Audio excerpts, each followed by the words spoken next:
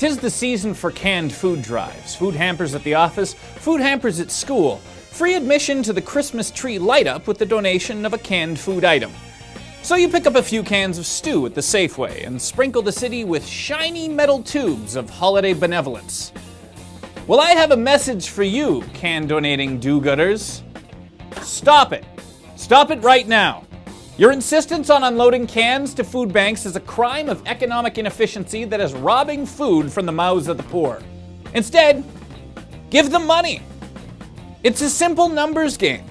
The average tin of salmon, for instance, costs about 3 to $4. At Whole Foods, it's probably $10. And if you're a tremendous cheapskate like me, you can suss out a can for $1.25 at the No Frills. But food banks?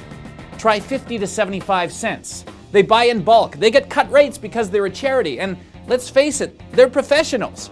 Food banks are much better at buying food than you are. And when food banks get cash, they can buy the food they need rather than managing the logistical nightmare of random donations.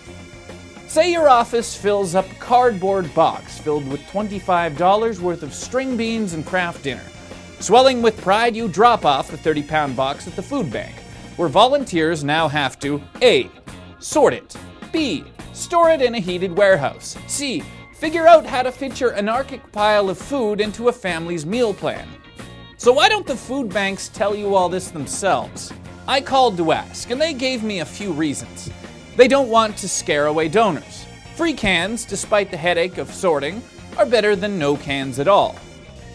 And some donors, for whatever reason, just like the idea of personally buying a can of pasta sauce that will soon be headed for the gullet of a poor kid. But it was a long dead Middle Eastern guy, let's call him J. Christ, who said that when you give to the poor, do not sound a trumpet before you. The gist is that the purest form of generosity is one in which you don't have to be all obvious about it. Thus, Resist the urge to look like a big man by loudly dropping a family sized can of ravioli into the office food hamper. Instead, quietly send a money transfer and bask in the knowledge that your $25 is doing infinitely more good than any box of discarded pantry items ever could.